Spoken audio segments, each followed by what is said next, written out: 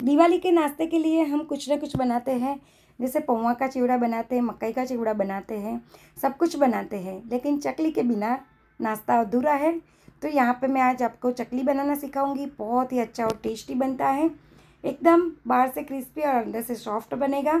कैसे वो मैं दिखाऊँगी। इसमें मैं ना तो आटा को बाफूँगी कि ना तो उसमें कुछ इंग्रेडिएंट्स इतना ज़्यादा लगेगा। फिर भी ये चकली बहुत ही अच्छी बनती है। आप देख सकते हो लुक तो बाहर मिलती है मार्केट में वैसे ही मैंने बनाई है और इतनी टेस्टी बनी है कि घर के सारे लोग तारीफ़ करने लगे कि बहुत ही अच्छी बनी है। तो आपको भी ऐसी अच्छी बनानी है तो आप मेरा पूरा वीडियो स्किप किए बिना देखना। यम्मी कुक में आपका स्वागत है, मैं हूँ छाया। वीडियो स्टार्ट करते हैं, पूरा एंड तक देखना ताकि सारी ट्रिक के साथ मैं बताऊँगी। तो एकदम बढ़िया से हम बनाएँगे।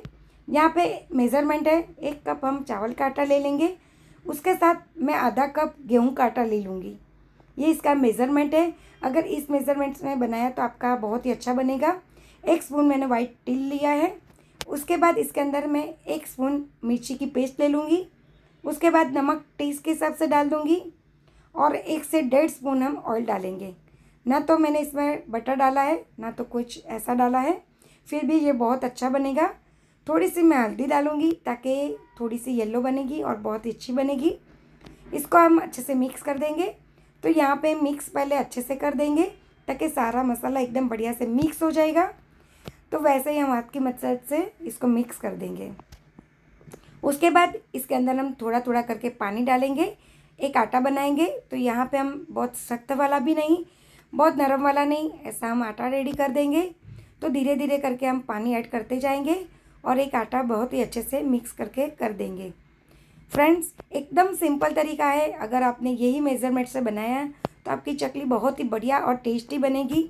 मार्केट में जो लेके आते हैं, उससे भी बहुत ही अच्छा है और टेस्टी बनेगा। तो मैंने आटा एकदम बढ़िया से रेडी कर दिया है। इसको अच्छे से हम मसल लेंगे, ताकि ये एकदम बढ़िया से मिक्स हो जाएगा। तो एकदम बढ़िया से इसको करना है रेडी उसके बाद ऊपर से हम थोड़ा सा ऑयल डाल देंगे और इसको मिक्स करके ढक देंगे। तो वैसे ही हमको रेडी कर देना है। तो मैंने रेडी कर दिया है। कैसा बनाया है, वो आटा मैं रेडी करके दिखाती हूँ आपको। तो यहाँ पे उंगली डालेंगे तो तुरंत ही इसको प्रेस होगी। तो वैसा ही हमको आटा रेडी चाहिए। इसको मैं ढक के रख दूँगी, उसका खुला छोड़ना नहीं है। इसके बाद चकली का संचा लेंगे, उसके अंदर हम इसके अंदर ऑयल लगा देंगे। तो मैंने ब्रश की मदद से अच्छे से सब जगह पे ऑयल बिछा दूँगी। उसके बाद इसके अंदर हम जो आटा रेडी किए थे, वो इसके अंदर अच्छे से हम सेट कर देंगे। तो यहाँ पे मैं आटा ले लूँगी और इसके अंदर हम डाल देंगे।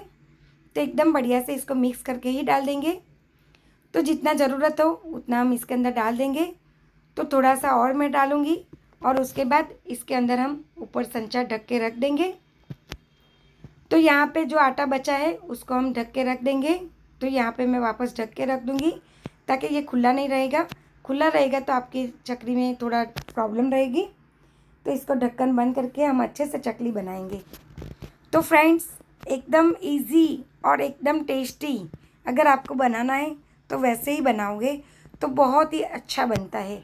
और दिवाली के नाश्ते में अगर आपने ये चकली नहीं बनाई तो हमारी दिवाली की नाश्ता अधूरा रहता है तो मैंने इसीलिए चकली बनाई है। अभी प्लेट के ऊपर मैं थोड़ा सा ऑयल लगा दूँगी, ताकि आटा अगर ढीला हो तो चिपके भी नहीं। तो ये प्रोसेस ज़रूर से करना। इसके बाद मैं संचा की मदद से उसके ऊपर से घुमाती जाऊँगी और हाथ की मदद से मैं संचा को भी घुमाऊँगी ताकि एकदम बढ़िया से गोल गोल ऐसी बन जाएगी चकली। तो ये मैंने ऐसे ही सब रेडी कर दूँगी। तो एकदम सिंपल तरीके से ये बन जाता है। अगर आपको डायरेक्ट गैस पर डालना है तो भी डाल सकते हो, लेकिन ऐसे ही बनाओगे तो बहुत ही अच्छे से और अच्छे से बन जाएगी। तो मैंने सारी चकलियाँ ऐसे ही रेडी कर दी है। इसको हम गरम तेल करने के लिए रख देंगे। तो यहाँ पे सारी मैंने रेडी कर दी है। तो फ्रेंड्स है ना एकदम सिंपल तरीका। और हम घर पे बनाते ही है, लेकिन गेहूँ का आटे के बनाते हैं तो उसको हमको बाफने के लिए छोड़ना पड़ता है। बहुत मेहनत लगती है, लेकिन आज मेहनत के बिना आप अच्छी चकली बना सकते हो। अभी ऑयल गर्म हो गया है। उसके बाद इसके अंदर हम चकली डाल देंगे एक एक करके। तो यहाँ पे मैं हाथ की मदद से डाल रही हूँ। लेकिन आप ध्यान से करना, या तो आप तबीता या तो चम्मच की मदद से इसको डाल सकते हो। लेकिन मेरे को प्रैक्टिस है तो मैंने ऐसे ही डाल दिया है। इसके बाद इसको थोड़ा सा पकाएँगे तो हम इसको मीडियम फ्लेम पे ही पकाएँगे। तो इसको पकाते पकाते थोड़ा टाइम हो गया, अभी इसको मैं पलटा दूँगी, ताकि दोनों साइड अच्छे से पक जाएगी और अच्छे से फ्राई हो जाएगी तो बहुत ही अच्छी और क्रिस्पी बनेगी। तो इसको मैंने पलटा दिया है। इसको वापस हम इसके अंदर फ्राई करने के लिए छोड़ेंगे। तो वैसे ही करके हम सारी चकलियाँ बना देंगे। फ्रेंड्स अगर आप मेरी चैनल पर नए हो और अभी तक आपने सब्सक्राइब नहीं किया तो सब्सक्राइब कर देना, बेल आइकन को क्लिक करना, ताकि नए वीडियो की नोटिफिकेशन आपके पास आती रहेगी। और हाँ मेरा वीडियो अच्छा लगता है तो लाइक करना कमेंट करना और फ्रेंड के साथ शेयर कर देना। ऐसा ही नए नए वीडियो में लेके आऊँगी आपके पास। तो दिवाली का नाश्ता है तो मैं ऐसे ही बना के लेके आऊँगी। कुछ यूनिक भी लाऊँगी तो आप मेरे भी चैनल को सब्सक्राइब करना मत भूलना और बेल आइकन को क्लिक करना ताकि तुरंत ही नोटिफिकेशन आपके पास आती रहेगी। तो ऐसे ही नया वीडियो देखना है, तब सब्सक्राइब करके ही जाना। और हाँ वीडियो अच्छा लगता है तो लाइक करके ही जाना। तो मैंने सारी चकलियाँ रेडी कर दी है। अभी इसको मैं सर्व कर दूँगी। तो पहले मैं दिखाऊँगी आपको।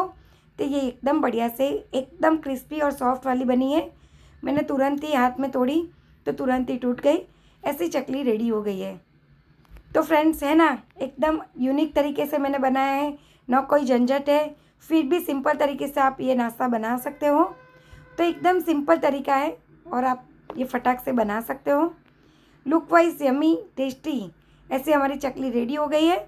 दिवाली के टाइम है और आपको नाश्ता बनाना है। कुछ नया बनाना है तो आप ये बना सकते हो। बहुत ही कम इंग्रीडियंट्स लगता है। बहुत ही कम मेहनत लगती है। फिर भी ये एकदम टेस्टी बन जाता है नाश्ता। Thank you for watching. Bye-bye. Take care.